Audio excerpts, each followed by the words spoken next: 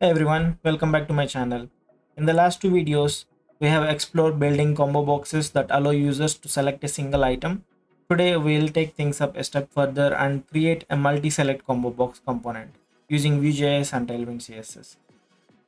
This will give users the flexibility to choose multiple options at once. In real life scenarios, we can observe this in Amazon when we apply multiple filters to get the products that we want and also when you sign up for a blog in most blogs they ask you to choose your interests and based on the interest they will send you the articles. So uh, that's what we will be building today.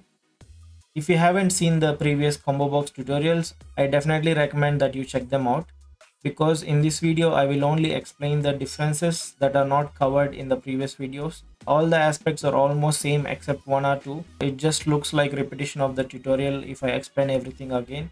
So definitely check them out I've included the links in the description for your convenience. Let me show you the demo here.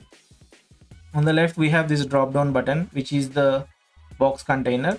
So when we click on that, we'll see these drop down options with the search functionality and the done button, which is in this absolute div on the right. So when we search for something, it shows those results.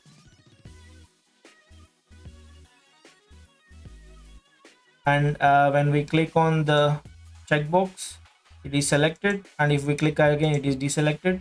The same functionality is given to this uh, entire div. You can click on the div as well and it will select and it will deselect. And if it is if there are more than uh, two items that are selected then it will show the uh, count instead of the names.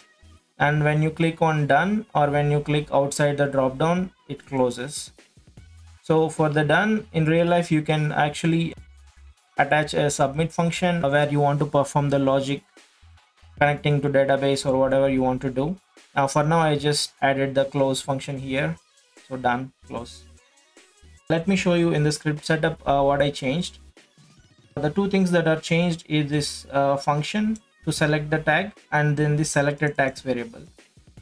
In the previous example where we were selecting only one item uh, we just uh, initialized it as the string. But now we are storing multiple values in the selected tags. So i am initializing this as an array as an array. In the function select tag first we are checking if the tag is already selected. And if it is selected then we are removing it from the array which helps us in this toggling so whenever we deselect something it is removing the value from the selected tags. And hence we can see only the remaining tags. And else if it is not selected then we will push the value push the tag to the selected tags array. So that's what is happening.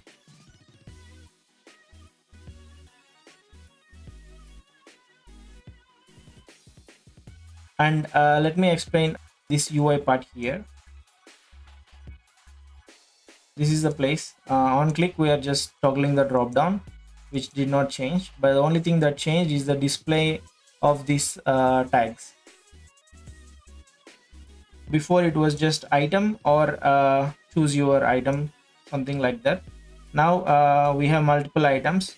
What we are doing is we are using the selected tags length property and based on that length we are showing these items if there is any item inside the selected tags then we are showing the item using the v-for loop.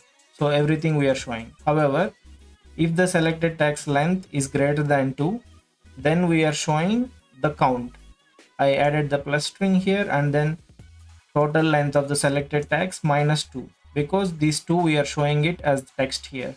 So only the remaining things we are showing it as a count so that's all. Uh, we have a multi-select combo box now.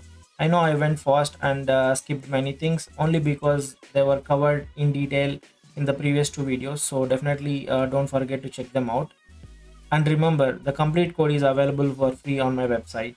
It even has the dark mode and also the accessibility features for screen readers. Feel free to leave any questions or suggestions for future tutorials in the comments below and i'll try my best to do them.